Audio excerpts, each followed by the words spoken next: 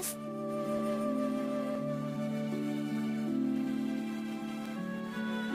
鏡には映りません。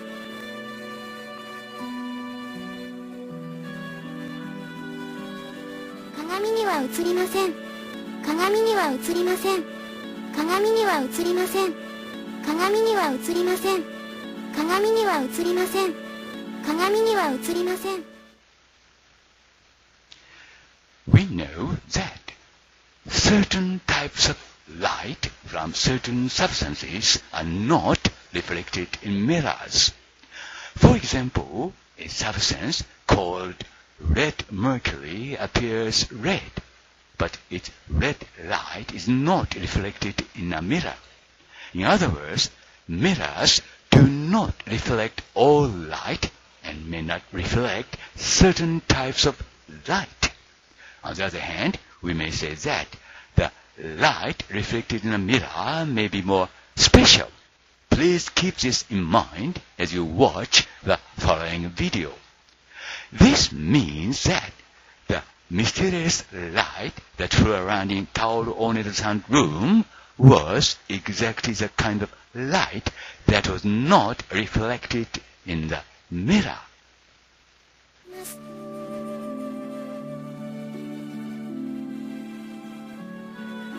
鏡には映りません。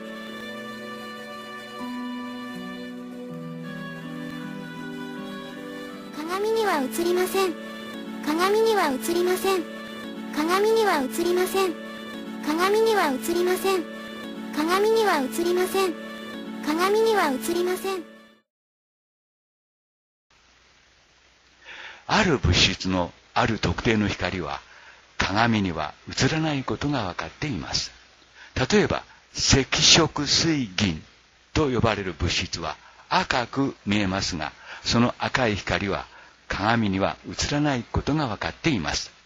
つまり鏡は全ての光を反射するわけではなく、ある特定の光については反射しないこともあるということです。反対に鏡に反射する光の方がある意味で特別なのかもしれません。そんなことを考慮に入れつつ、続く動画をご覧になってください。大根田薫さんの部屋の中を飛び回った開口は、まさにその鏡に映らない光だったということになるのかもしれません。広し林、ハミマシティ、ジャパン、February the 2nd, 2024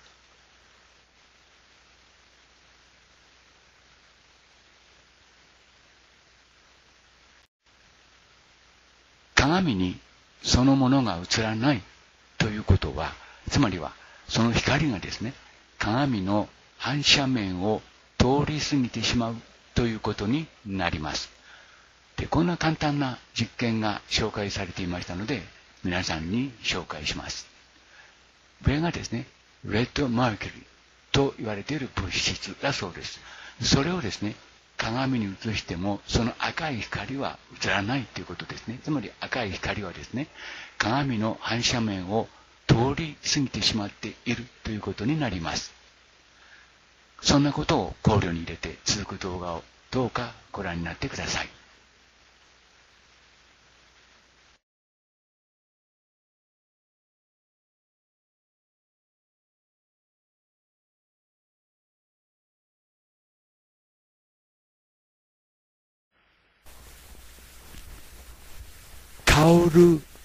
Oneda-san, my best friend, passed away on October the 26th, 2023.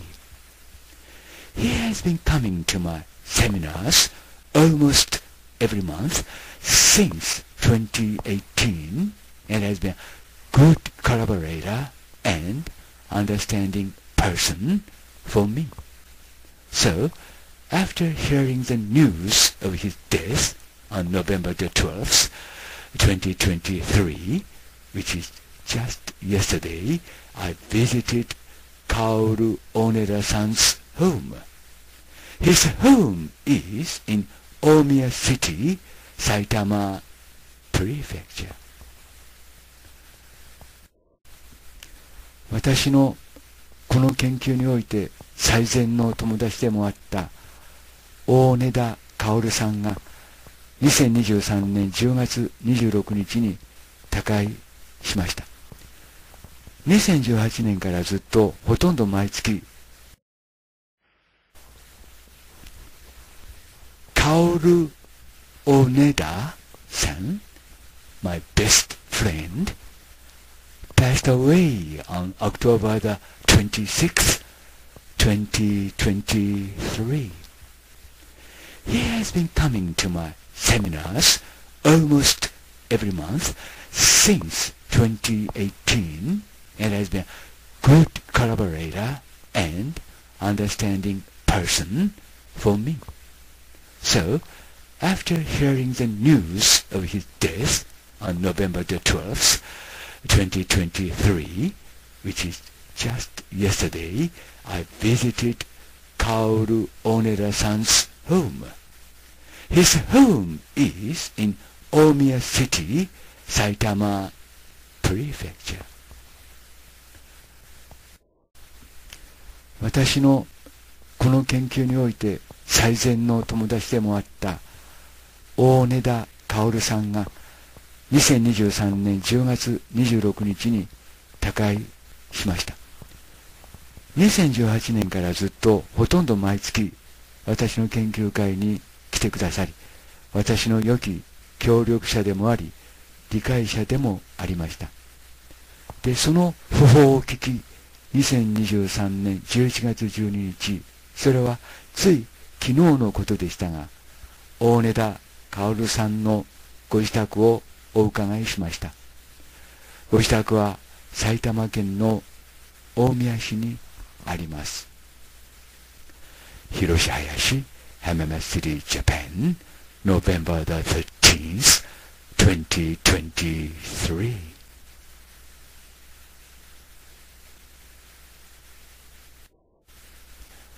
Then, on the spot, Miss W, who had been taking care of Kaoru Oneda-san until the end, showed me this video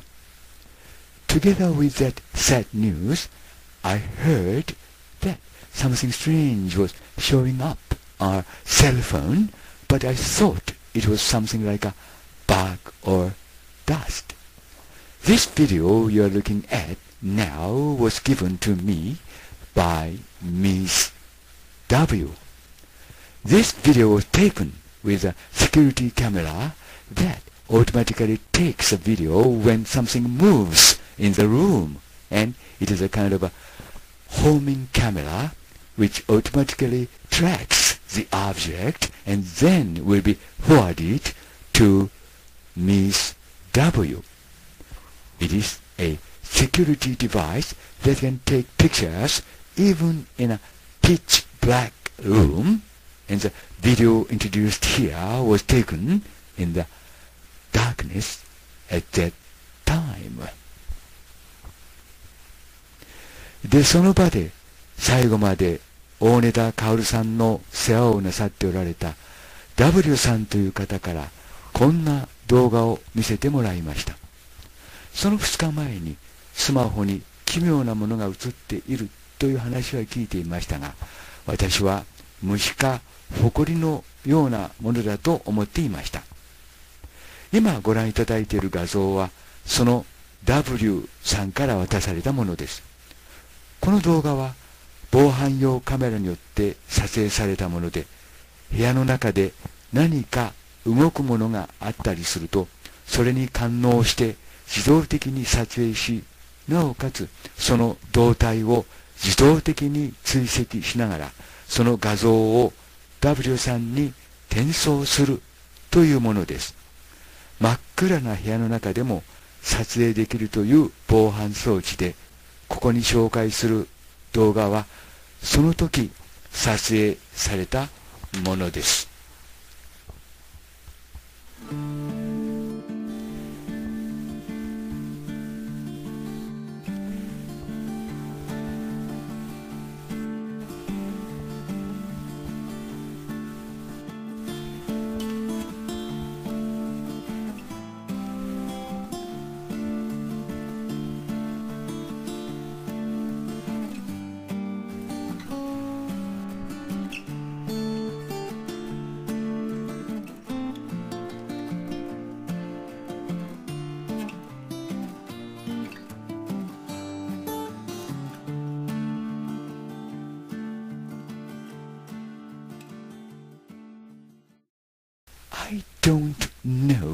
What is being photographed here,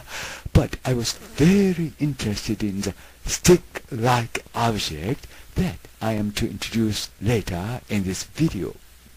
Because it reminded me of the stick-shaped UFO that my wife saw in front of my house on the night of November the 27th, 2018.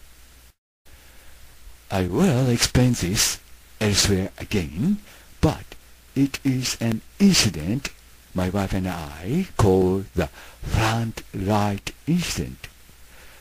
Regarding that incident, the entrance light, which had never been used, turned on by itself. Immediately after that, my wife witnessed what we now call a stick-shaped UFO. My wife claims that it was a beautiful object of beautiful white and cobalt blue. So beautiful that it was hard to believe that it belonged to this world, as my wife said. で、ここに撮影されているものが何であるかは私にはわかりませんが、 この後、この動画の中で紹介する一本の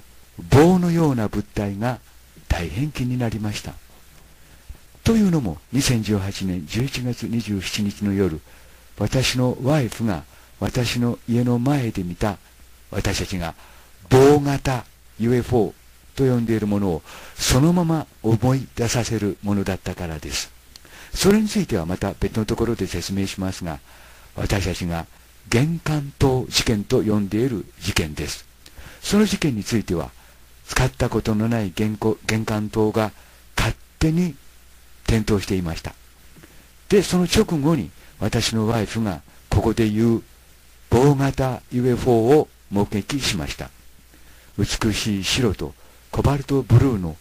この世のものとは思われないほど私私のワイフが言うにはそういうことなんですけども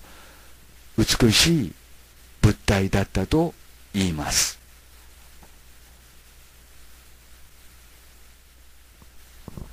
Now, as I watch this video, I think that this is a kind of memento that Kaoru Oneda-san showed us at the very end of his life. Thank you very much, Kaoru Oneda-san. I am confident that he has finally been accepted by the God of heaven. I pray that his soul may rest in peace. 私は今この動画を見ながら大根田薫さんが最後の最後で私たちに見せてくださった遺品であると思っています。大根田薫さん、どうもありがとうございました。私はあなたが最後に天の神に迎え入れられたことを確信しています。ご冥福をお祈り申し上げます。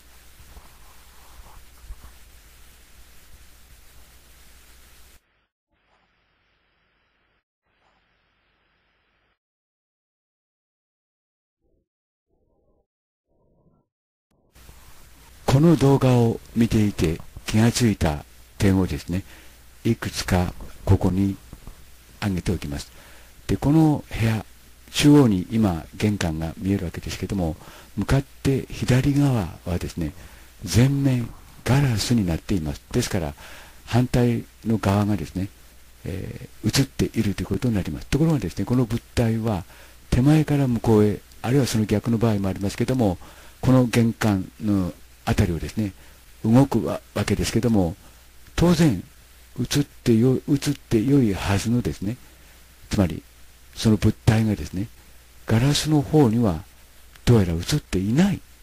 ようです。ということはですね、まあ、光が特殊であるということに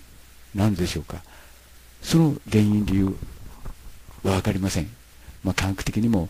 説明できない光であるということになります。位置関係がしっかり分かりませんから何とも言えませんけども、まあ、何かの物体、紐のような物体がですね、その、まあ、ふわふわと動いていると。で、それをですね、まあ、その左側のガラス、鏡ですね、ごめんなさい、ガラスというよりも鏡がですね、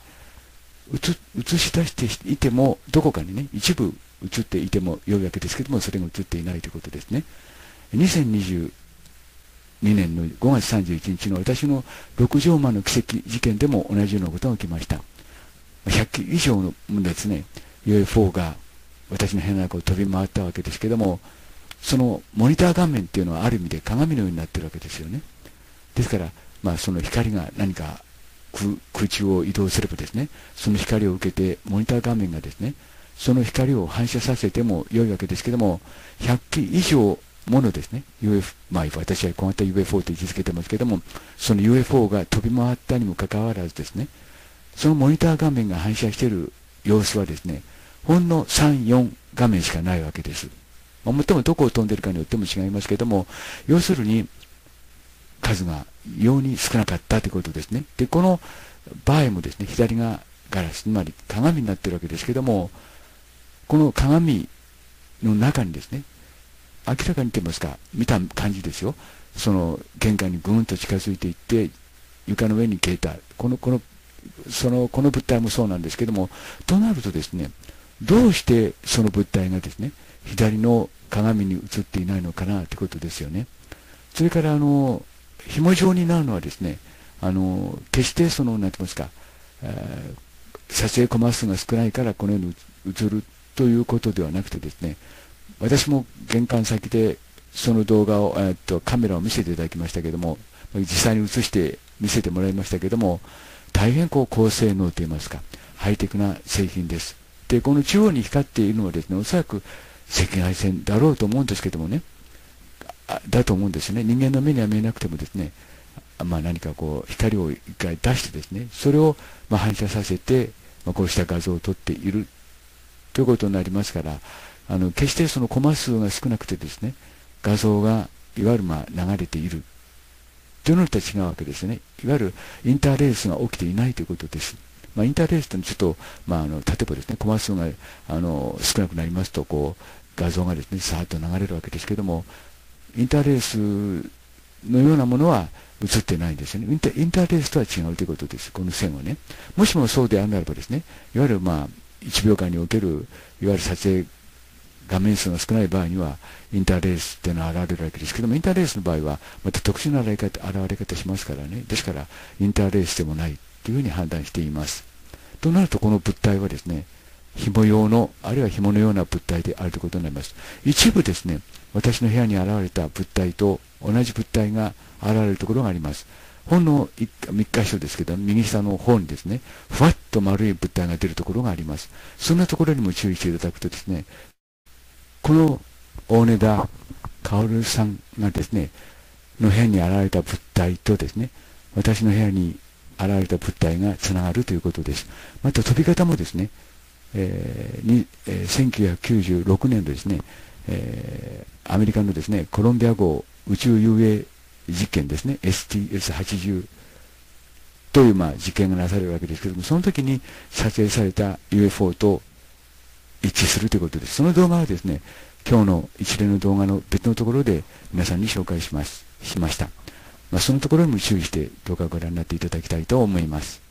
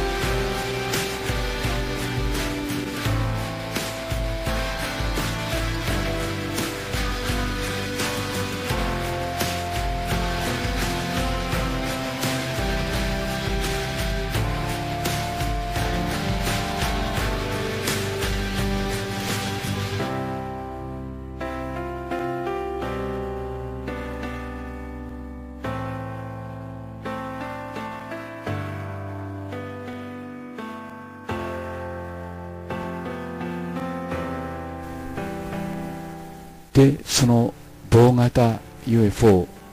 の場面になります。でこれはですね私がですね家に帰って検証している時に発見したものです。最初はですね影のように見えます。この矢印のところに注意してください。影のように見えます。で何だろう？と思って見ていたらどんどんどんどん伸びて上の方に伸びていくわけですね。これはオリジナルの動画に映って映り込んでいた、まあ、黒い線のようなものなんですね。ところがこれ大変奇妙なことにですねこの魚眼レンズのようになってましてね。軽い。ですから全体に壁が円形になっているのが皆さんお分かりになるでしょうか。ところがこの棒だけはですね伸直線的にですねまっすぐと上に伸びていくわけです。そしてその先がですねぼんやりと白いわけですよね。これはその W さんも全く気がついていらっしゃらなかったようですね。全く話に出ませんでした。でそのゆっくりゆっくりとそれが上の方に伸びていくわけです。でこのこの段階ではまだ全体に影のように見えます。ただ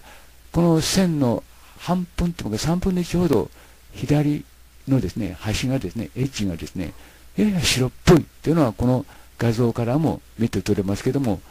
まあ見た感じですね。私は当初影だと思いました。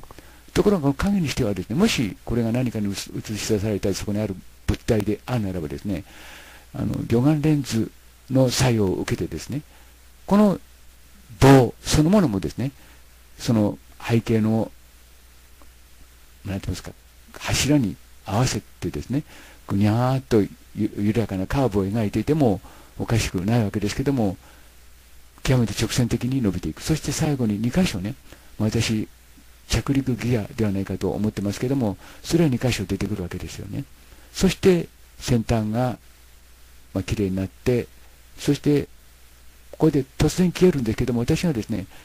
あの消したのではなくていわゆる画面を描いたのではなくてこれ自体がパッと消えます。いいですか？パッと消えましたね。これは私が消したんじゃありません。でこれを何とか、まあ、見ていただきたいと思うんですけども速度はこんな速度だったんですね。これをどう説明するかなんですよね。私もこうした画像は初めて見ました。今後ね、こうした似たものが出てくればですね、まあ、そのそれと今度は対照的にですね、並べてですね、つまり比較しながら、まあ、考察ができるというわけですけども、今回このような物体はですね、出ますか、初めて見ました。で、この物体がですね、2017年の10 1月27日の夜ですね、あの山の家に行きましたらですね、つけたはずもない、あるいはつけたほつけたつけることはほとんどなかった玄関灯がですね、こうこうとこのついているのを知りました。夜もう11時半近くになっていたと思います。で、なぜその日に出かけたかというとですね、ちょうどその1年前にですね、2016年の11月28日ですね、あの私にとっては大事件である。今育養試験が起きたわけです。ですからその、まあ、ちょうど 1, 1年になるからということで2017年のですね11月27日の夜山の家に出かけていったわけです。でその時に玄関灯がついていたわけですけどもまあ瞬間はですねあ前回来た時に消し忘れたんだなというふうに思ってほとんど何も考えなかったんですけどもそれからも寝支度をして布団の中にまあその時はですねあの縁側に布団を敷きましてね、並べて。で、そ、そこに出た時に、ワイフがですね、棒型の UFO ですね、間近に見るわけです。で私は反対側を向いて、何かのカタログを読んでましたから、気がつきませんでした。で、その時にワイフがですね、あ、ホタルって言ったのを覚えているんですけどもね、まあ、要するにこれがその、ワイフに後で見せましたらですね、ちょうど大きさもこれとぴったり合うってことを言うわけです。で、ここは、この辺りまで来ますとですね、この棒の左半分がですね、明るい色になってきてるんですね。いわゆるまあ棒であることがこれではっきりとわかる。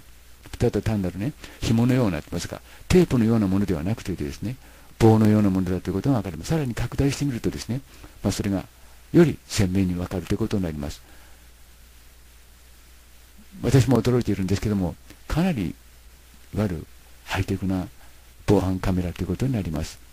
夜間でもですね、何か動きがあるとそれを察知して自動的にオンをして、そして動きがあるとですね、それを自動的に追尾しながらそれを撮影し、なおかつその瞬間ですね、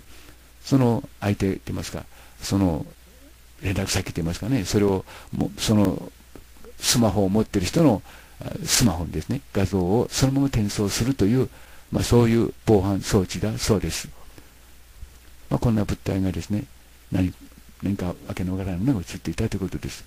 ですから、まあ、中央壁のドア、玄関ドアのところに丸いものが見えますけども、あれは人間の目には見えない光だと思います。赤外線のような光ではないかと思います。で、全体に白黒です。全く白、全くの白黒ですね。で、解像度も高いし、それからあの、あの、私も映して見せてもらったんですけども、全くコマ数も普通のビデオカメラと同じでした。まあ、早く動いたからといって、まあ、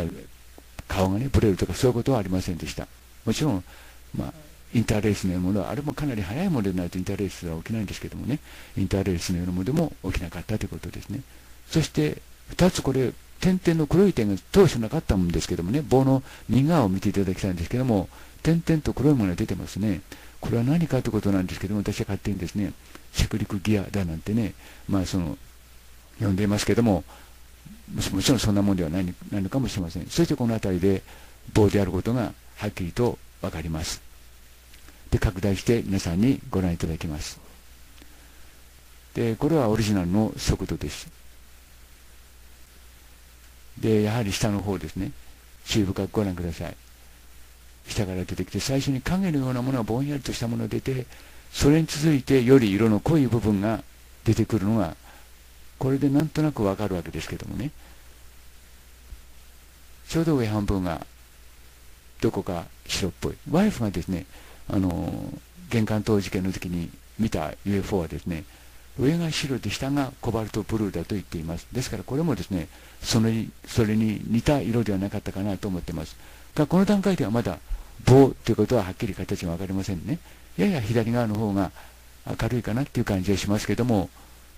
この段階ではまだ棒だということが分かりません。で、だんだんだんだん徐々に上に上に上がっていきます。大変ゆっくりとしたスピードですね。今までの部屋の中を動き回った胴体、開口とは異質なものだということですね。ですから、まあ、これはあの、えー、このカメラを設置なさったね、その W さんの弟さんという方からも話を聞いたんですけども、その白いものが飛んでいるからといって光を発光していたことにはならないんじゃないかと。まあ、明るい色の物体であるならばですね、その白く映ることもあると。で、仮に光が出ているとしたらですね、極めて眩しい光になりますから、もっと大きなハレーションを起こすはずだということようなことようなことをですね、説明してくださいました。光についてはね。しかしこの棒については全くお気づきになっていらっしゃらなかったようですね。私が家に帰って検証しているときになんだこれって見て気がついたわけです。この段階まで来るとですね、棒であることが大変よくわかります。でやや左半分が明るくなりましたね。この辺りで、まあ、要するに姿を現したということになるのかなというふうに考えています。で、全体に真し向かって左側半分が下の方まで白くなったので、パッと消えるわけですね。私が消したんではありません。で、今、これはあの20倍速で皆さんにご覧いただいています。20倍速ですね。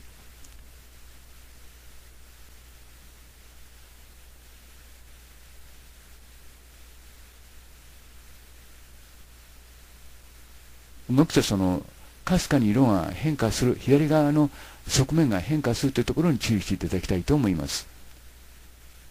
で、当初は影のようなものであったのが、だんだん姿を現すということになります。そして、やや明るくしてですね、画像処理して近づけてみるとですね、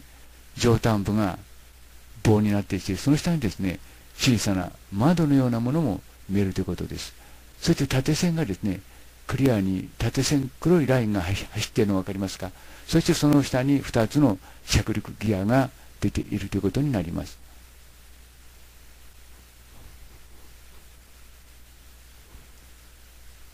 で、明らかに棒であると。ここではっきりと棒であるということが分かります。左半分が明るくて、右半分が暗い色になっています。つまり、テープのようなものではない。影のようなものではないということです。